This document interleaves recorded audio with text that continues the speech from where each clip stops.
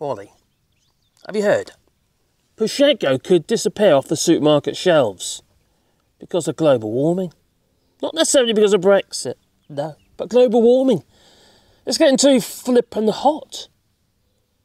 And the youngsters don't want to do that kind of work anymore. No. Well, unfortunately, rather popular as it might be, Prosecco is suffering from climate change. And there's been a study, yeah, a study. Scientists um, think Cabernet Sauvignon could be next as well. To the grapes, you see, and how they're actually, well, farmed on the sides of mountains, what have you, rock and what have you. Which has, well, it's become depleted, and, and over millions of years, the soil and what have you has been washed off the sides of these mountains, what have you. But it's because there's so much water involved, there's um it's become depleted of all nutrients and what have you. But with global warming, whereas these vines with the roots down really deep in the sides of these mountains for these, you know, where these vineyards are, Prosecco in Italy, and uh, well, there ain't enough water for them either. It's too hot. So there has been a study that has, which is quite interesting because it's not just going to affect Prosecco, it's going to affect um, other you know, not just beverages, but foodstuffs in general, especially in Europe. It has been so hot. I know it's overcast today. We had quite a bit of rain last night, actually. But crikey, it seems to be one thing or the other. It's either really hot or really wet.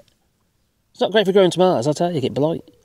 So Prosecco is the UK's favourite sparkling wine. well, I'm happy with just any old sparkling wine, me. It's just sparkling wine. I'm no connoisseur, I'll tell you. No. Well, according to new research, climate change could potentially wipe it out. Now, mountainside vineyards where the uh, grapes that go into the bubbly beverage are produced are most at risk from soil degradation and uh, drought, say scientists. Now, I know that people say, well, it's just, you know, every summer it's hot. Oh, we've had this before with really extreme temperatures. Well, no, we're recording the highest temperatures ever And last week it was.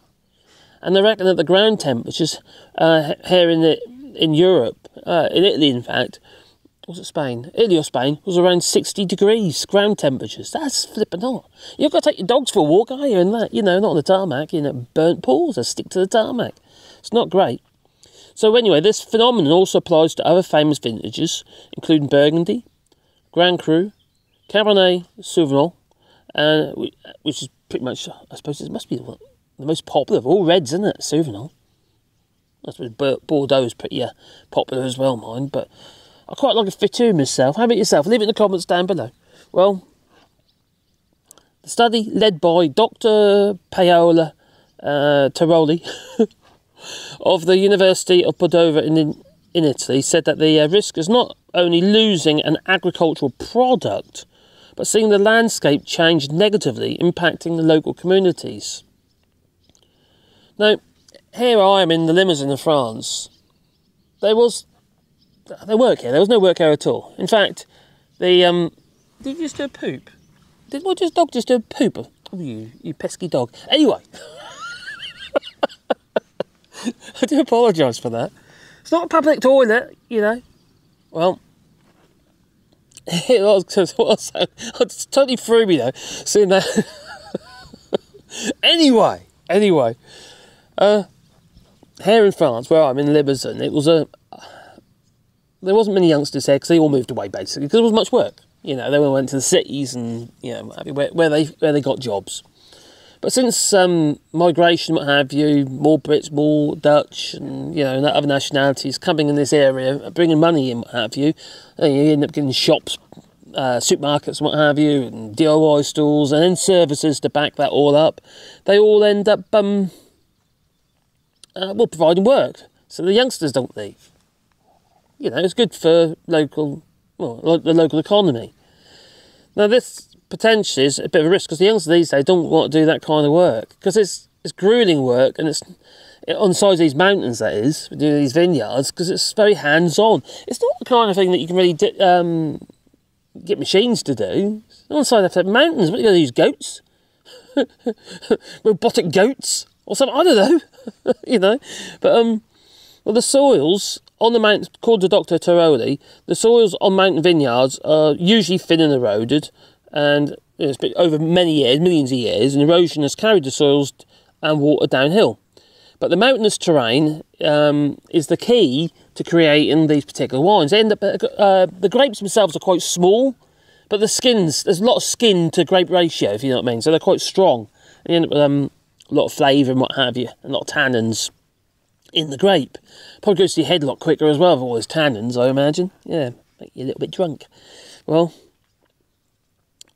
now, mountain what, uh, mountain grapes, what have you, not mountain goats, mountain grapes are renowned for uh, stronger flavours what have you. According to a study, the hillside vineyards of Italy, Portugal, and Spain are also the most difficult to maintain and affected by this. It's not just obviously Italy. Now, coming, uh, coining the expression heroic viticulture I'm not sure what that means. Maybe someone can tell me. Leave it in the comments down below. Anyway, the farmers and scientists must work together to try and save some of the world's most celebrated wines, said this uh, said the Italian team.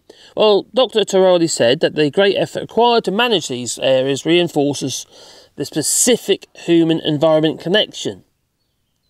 In other words, people with hands need to be able to you know, work these vineyards. If the people with hands disappear, well, then the vineyards will just well, they just go rack and ruin, wouldn't they? Don't ask Jake Rees-Mogg if you think there was some a magical machine to do this particular job. No, not yet. Maybe in the future, but not yet. Well, he's saying that this is why they are recognised as cultural uniqueness of primary historical and social importance, where uh, traditional knowledge is still the determining uh, element. Now, talk about traditional knowledge, like for hair. A lot of my French friends here they use um they use the moon, not physically. They got no, no, but like planting and what have you. They it's like a, an age old um knowledge uh, that's been handed down over generations. And it gives them that unique ability to, well, they did dance like bed night, I'd say, growing and stuff. It's quite amazing. They always plant to the moon and what have you, lunar.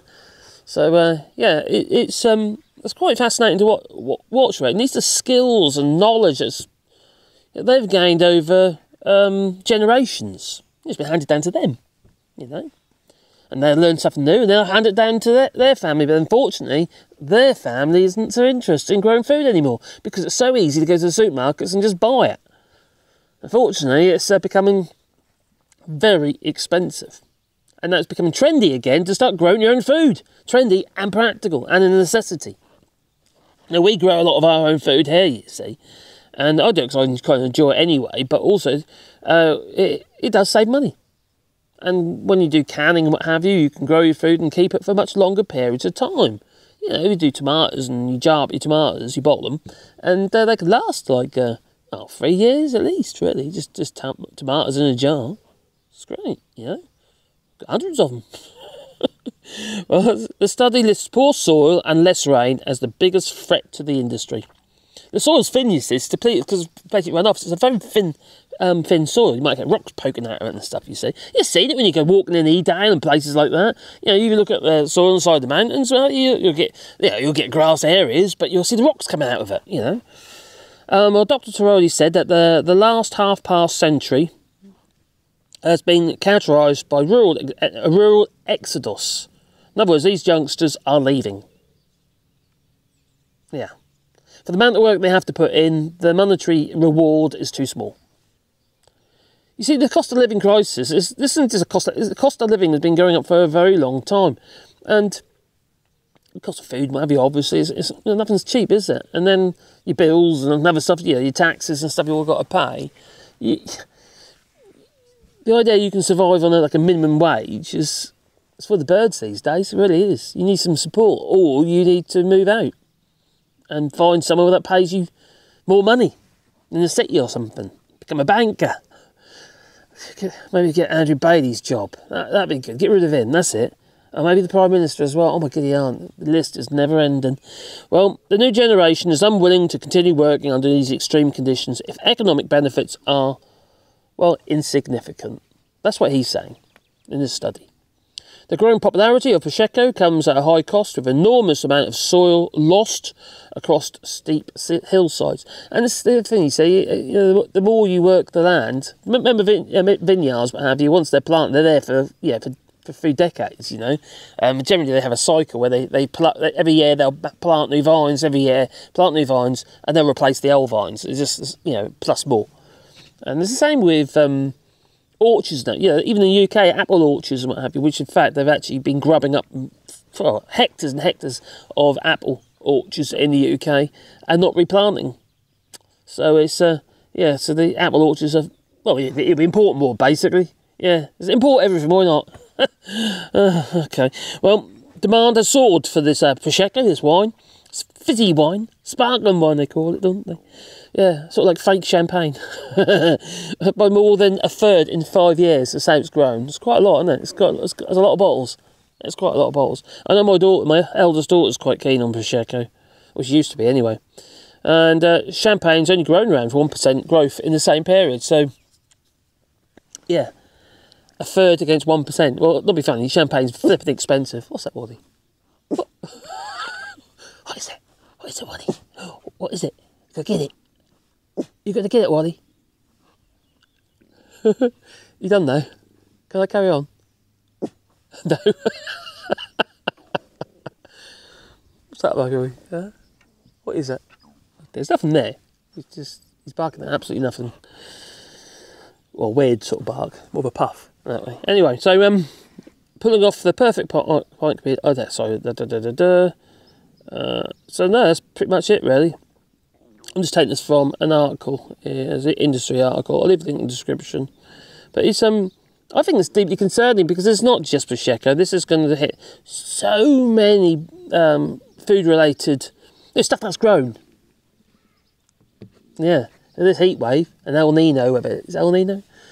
And uh, the oh crikey, and um, the Gulf Stream, which basically takes the warm air from uh, from the south southeast, up past uh, Europe into yeah, into the north. So it protects, keeps us warm in the in the winter and uh, a bit cooler, cools things down in the summer. That, that's yeah, that's almost that's depleting as well. So we're going to cook. Lovely. We're going to cook in the summer and absolutely freeze in the in the winter because of global warming. And does anyone want to do anything about it? No, most people can't be bothered. Just moan at people who throw well, orange confetti. I think, yeah, don't get me wrong, I'm not that keen on on the methods from, you know, uh, just stop oil. I 100% agree with it, with their cause. And I think they need to, they've got to try and bring people on board. And the way they're going about it, I don't think it's going to happen. But something, they've got to do something. And besides, they're fighting for everybody. And they just want, it's not just about them. No. You know, if you don't look after the planet, we're not going to look after ourselves. And we've seen the signs now, you know. Even Prosecco, for Christ's sake. Prosecco, how are you going to manage without your Prosecco? Huh? Quite fine, probably. But anyway, it's time for us to go. We're going to go, Wally. Do you know, mate? Time to go? Okay. He probably wants to, you know, give a walk. He's, he's, his nose. Anyway, if you want got a the channel, you can do it on uh, Patreon or buy us a coffee. And uh, you might even buy some doggy treats for Wally, Pandora, and Sebastian, maybe. And maybe the cat. Not doggy treats, be catty treats. Yeah. All right, Wally. Yeah. And we've also got memberships as well. So if you want to become a member of the channel, and we will be putting some uh, specific content on for that. So, time for us to go. So I can say ta-ta, you know. So ta-ta, and have a lovely day. Yeah. Yeah, yeah okay? As an order. And it is. Ta-ta.